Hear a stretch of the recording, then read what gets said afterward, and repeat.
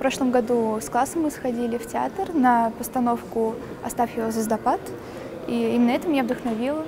Я нашла там похожий образ смерти, которая видела солдатом. Немного доработала и получилось такое стихотворение. Ну, в таком масштабе, да, это первый для меня конкурс. И я бы очень хотела дальше продолжать набираться опытом.